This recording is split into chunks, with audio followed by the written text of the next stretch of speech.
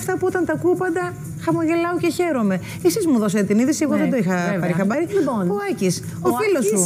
δεύτερη φορά Πάει για παπάς. δεύτερο μωρό. Είδες. για δεύτερο. Τουλάχιστον να σε καλέσει. Να στο βαπτίσει για να μην καλέσει τουλάχιστον. Να μην καλέσει το γάμο. Τώρα δεν νομίζω, γιατί από ό,τι καταλαβαίνω εγώ χωρίς να ξέρω τίποτα, θα κάνουν και τα δύο βαφτίσια μαζί αφού απανοτά τα έκαναν τα Ναι, παιδιά. ναι, να είναι ναι, καλά ναι. τα παιδιά. Πραγματικά μπράβο Να τους. είναι Μπράβο καλά, της. ναι. Ανέβασα τώρα ένα story που έλεγε σε λίγους μήνες ο Αχηλέας θα έχει παρεούλα. Τι, ε, γρήγορα ρε παιδί μου. Ο Δηλαδή, καλύτερος τώρα τρόπος καλοκαίρι να δεν κάνεις παντρεύεται. δεύτερο Ναι, ναι, είναι ναι, αυτό το ξέρεις, γρήγορα το πάντως. γρήγορα, ε, να μην Στο το λόγο που καταλάβεις. έμεινα στο ένα. Δεν ο ξέρω, εγώ καλύτερος νιώθω τρόπος. ότι γλυ- γλυκάθηκε τόσο πολύ γιατί το έχουμε συζητήσει πολλές φορές ότι άλλαξε πάρα πολύ ο ίδιος. Δηλαδή